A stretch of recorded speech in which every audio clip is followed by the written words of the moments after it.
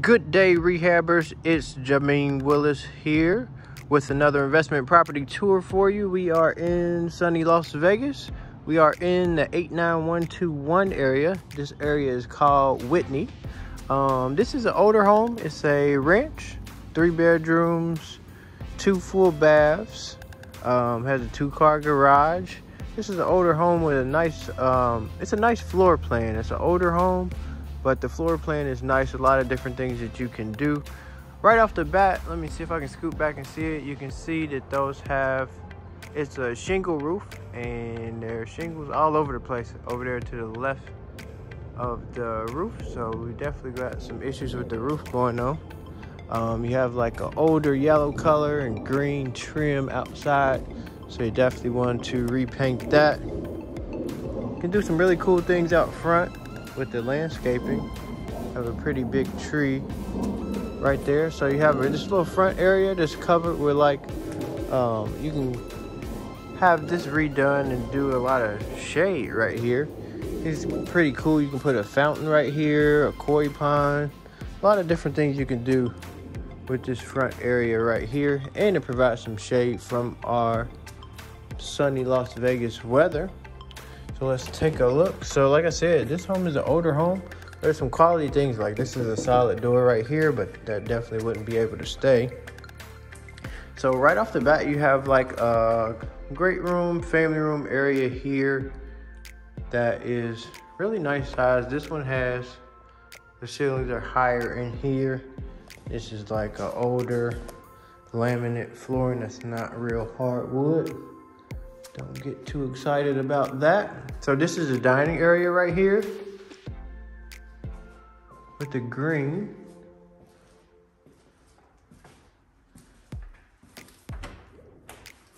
Here's just a pretty nice sized coat closet. So this is three bedrooms, two full baths, but also as soon as you walk in off the main hallway, right to your right here, you have a nice study. So you could really play this off well, make it a study, office, man cave, because you have a sink right here. And so you can put your little refrigerator in there, have you a really nice man cave, or it could really be a really nice home office. You have some built-in bookshelves here. So yeah, that would be a great study. And people really like home offices right now. So a den right up front is pretty cool. So definitely older kitchen. You have old tile countertops. So you would totally redo this kitchen. The the uh, cabinets are pretty old, so you couldn't salvage those. Have a good old vine wallpaper for you. So you could totally redo this kitchen, but it's pretty nice size. Got some cabinets over here. You can put a convection oven.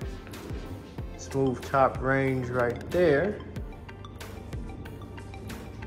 Then right off of the kitchen, you have a family room with a wood burning fireplace. I actually love wood burning fireplaces coming from the Midwest. It's just a really homey feel to have a wood burning fireplace. So you have that brick here. I would whitewash that brick and uh, really play up this fireplace. Change the front, get rid of the gold.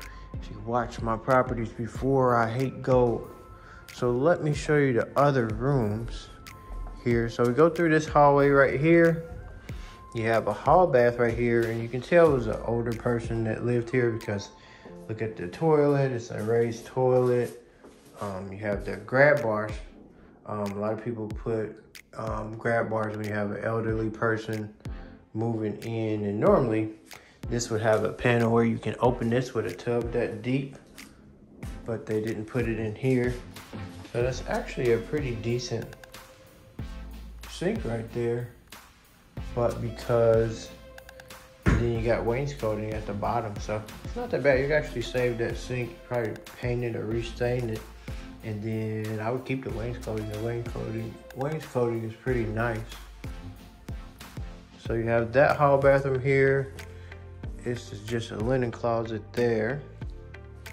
These are really dark colors here. That's the another entryway to the study right there. So there's some dark colors in here. There's some really dark tans, some dark mustard colors in here. So you have your laundry area right here with washer and dryer, little closet there, and then you come in straight from the two car garage into the laundry room. So you have a nice two car garage, plenty of space in here. Looks like a newer garage door that they put on there. And uh, let's see. Oh, this goes to the front too. So you can come in the garage and go through that door. Or you can come in and come straight into the laundry room.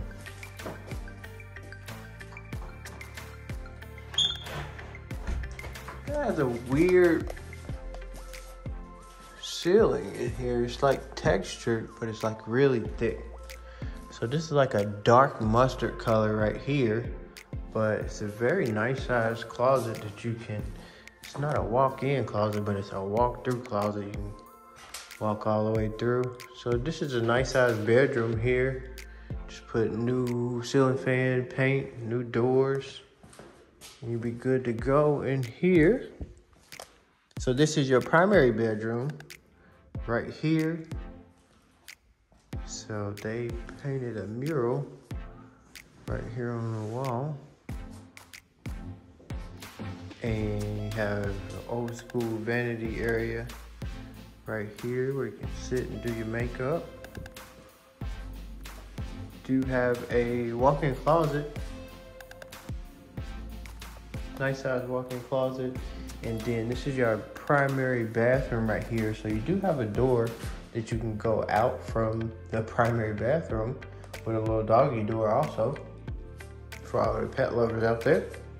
So you just have a shower here, not a tub. They did upgrade the sink here, so that's a granite countertop, but you still have your old cabinet base right there. So I guess in theory you could keep the countertop.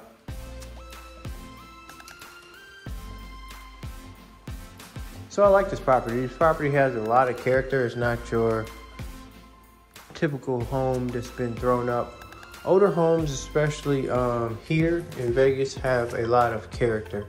So a lot of times you can keep some things, keep some character within the home, even though you're rehabbing it and upgrading it. But a lot of times you can keep the character in the home, especially there things like this. So a little bit different layout, cool layout. Let me show you the backyard. Backyard is pretty cool too. Have a decent decent amount of space here um, it looks like they had a little bit of a grilling incident right here. so that looks like uh, damage from somebody using a charcoal grill or a gas grill incident right there. But you have, just like the front, you have a little cover area for shade. You have this area right here that's covered for shade also. So this would be pretty cool. You can kind of make this like a little gazebo area back here.